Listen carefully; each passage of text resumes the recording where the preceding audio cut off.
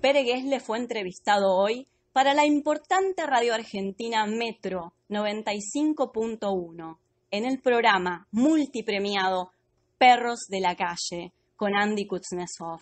Recordemos que Per está presentando el segundo volumen del álbum compilatorio con canciones de Roxette, Bag of Tricks. Tania realiza la siguiente interesante pregunta. Eh, Tania, última, dale. Le explico Cariponga, ¿no? Dale No, que yo termine quería-. Eh, Era un, era un poquito a ver si había alguna escena teniendo en cuenta eh, de- que eran una dupla y que había una mujer tan fuerte como la voz masculina. Si él en el, en el recorrido de Roxette se ha encontrado con eh, estas cosas de la mujer corrida de escena y que respondiera a él, digamos, el mansplaining típico que pasa mucho en la escena local donde hay mujeres fuertes que igual así todo no son tenidas en cuenta en negociaciones o en cosas. Si él recordaba alguna de, estas, de estos momentos con Marie. Uh, well, there were two of you, all this, the history of Roxette, uh, a man and a woman.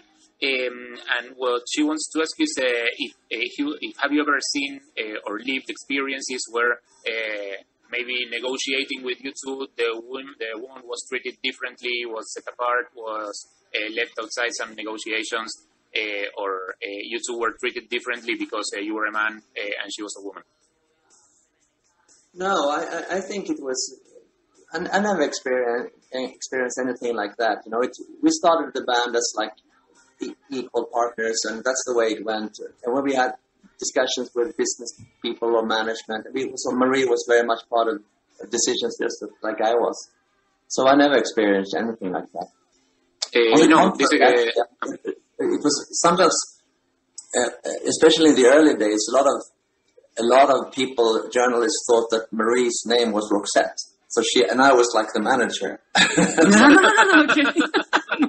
I, hated that. Eh, dice que no, que, que la banda fue pensada como una sociedad en partes iguales y que siempre funcionó así, que Marí siempre fue parte de las decisiones igual que él. Eh, lo que sí pasaba al principio es que mucha gente, muchos periodistas pensaban que Roxette era el nombre de ella eh, y que pensaban que él era el manager y que sí, él, él odiaba eso. Excelente.